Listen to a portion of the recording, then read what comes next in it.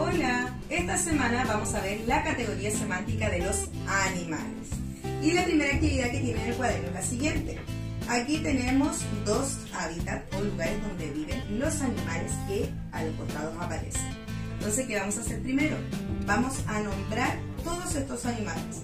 León, vaca, tigre, oveja, caballo, mono, jirafa y gallo y ahí lo vamos a unir según el lugar donde viven. Si viven en la granja o viven en la selva. Lo podemos hacer con distintos colores para que se puedan guiar bien con la respuesta. Y luego tenemos esta actividad, que es qué come cada uno de estos animales.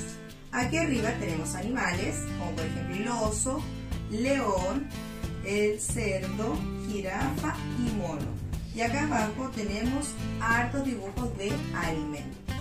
Vamos a unir con el alimento que come cada uno de ellos.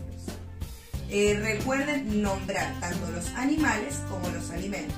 Arriba y aquí abajo está la guía de los nombres de cada uno de ellos. Y cada vez que terminamos una actividad, recuerden realizar el proceso de autoevaluación carita feliz si trabajan bien, más o menos si no trabajan tan bien, o carita triste si trabajan mal o no quieren hacer la tarea.